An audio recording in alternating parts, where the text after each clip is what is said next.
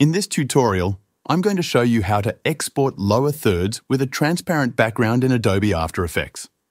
First, let's look at the lower third design on the screen. Right now, it has a black background, and if we export it as is, that black background will show up in the final video. We don't want that. What we want is to export the video with a transparent background. The first thing you need to do is head to the preview window. Look for the button that controls the transparency. It's located near the bottom of the window and it's called Toggle Transparency Grid. Click on it. Now you'll see that the black background has disappeared and is replaced with a grid, which indicates that the video will have a transparent background. Next, you need to check your layers. Make sure there are no background or solid layers underneath your lower third. If there are any, go ahead and delete them. In my case, there's no background layer, so we're good to move on. Now, to export the lower third, go to the top menu and click on Composition. From the drop-down, select Add to Render Queue.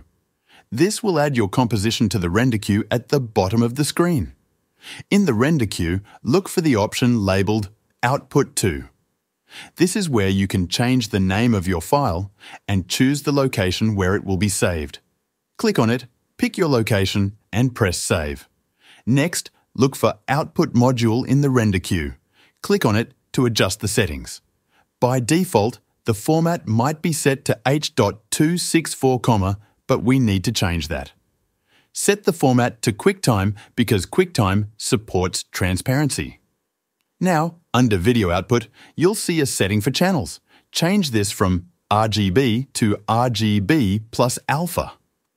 This ensures that the alpha channel, which controls the transparency, is included in the export. Once you've made these changes, click OK. Then, all you need to do is press the render button. After the render is complete, your lower third will be exported with a transparent background, ready to be used in any video project. That's how you export lower thirds with transparency in After Effects.